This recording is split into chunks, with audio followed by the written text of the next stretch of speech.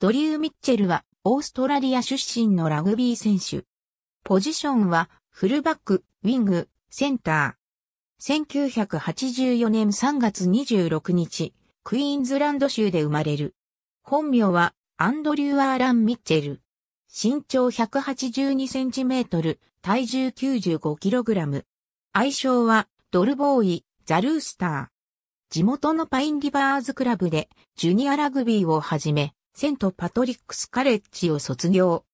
カレッジ在学中の2001年にラグビーオーストラリア高校代表に選出される。大学在学中、クイーンズランド州アカデミー・オブ・スポーツ19歳以下代表に、並びにセブンス代表に選出。2005年、スーパー12、現、スーパーラグビーのレッズに入り、シーズン11トライを記録、オーストラリア、エスルーキーオブザイヤーを受賞。同年、ワラビーズに初選出、南アフリカ戦で代表デビュー。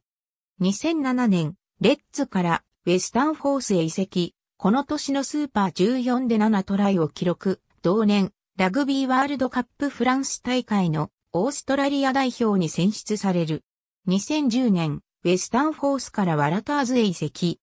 2011年のスーパーラグビー、レッズ戦で足を骨折、同年9月に開幕するラグビーワールドカップニュージーランド大会への出場が危ぶまれたが、オーストラリア代表に選出される。